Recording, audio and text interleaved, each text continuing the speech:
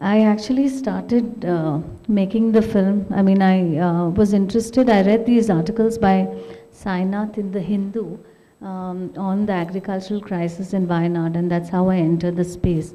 And in, in one of his articles, he had described a bus journey, and he, he, you know, he talked about the migration from Wayanad to Karnataka for growing ginger. And in the bus, he describes this entire article was a bus journey of this woman, Bimala, who goes uh, to uh, the other side of the border looking for work.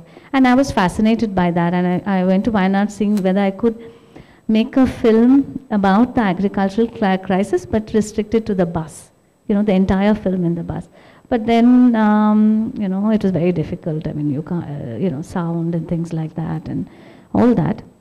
So right from the beginning, uh, you know, the uh, bus was a kind of a, a, representation of a journey and, you know, the space. There was uh, a conscious decision that, you know, landscape, uh, that we would stay away from representing landscape as, say, maybe how uh, we would look at it as tourists, which means like separate from humans. Since we're talking about uh, the relationship between nature and humans, I think it was important that the, the humans was framed within the landscape and not the landscape. So except for the first shot in the film where you see those, the blue sky and the rolling hills, I think we uh, kind of just shown um, either humans in landscape or these, you know, small creatures um, in the landscape. So that was, yeah, uh, probably a conscious decision as to how um, uh, to represent it and it's uh, it's interesting to see this film uh, this film in this festival because there's a way in which uh, films about the city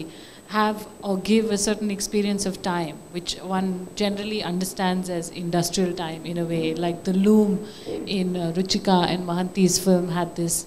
You know it sort of built a certain idea of time into the film but your film does this thing where it's somewhere between um, uh, between epic time and rural time. And, um, and I find that intriguing also because we had a festival of films, I think Mara organized it about a year ago, around the notion of time and the city. And then again, there was a certain idea of time that played through, and your film does something very different from that.